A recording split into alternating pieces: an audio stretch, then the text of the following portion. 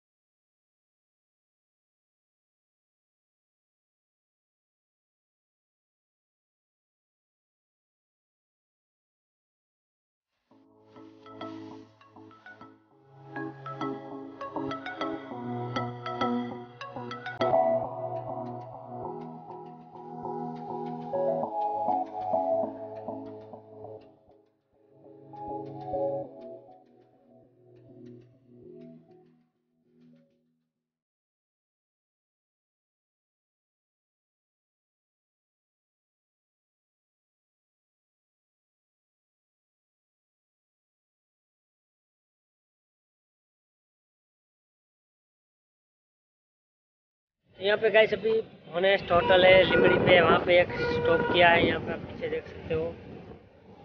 अभी हम लोग फ्रेश फ्रेश होके अभी कुछ नाश्ता वास्ता करेंगे। ये जो पटेल वोल्वो है, उसमें हमने ट्रैवलिंग आज किया है।